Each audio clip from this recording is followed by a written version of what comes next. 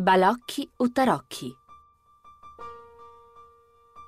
Donare non è regalare, di sottile differenza nel parlare quotidiano, ma di profonda disuguaglianza nel pensare umano.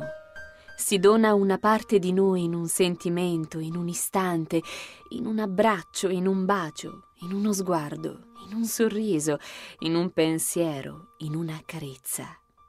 Si regala un oggetto, uno scarto, un niente, un dolore, una cattiveria, una menzogna.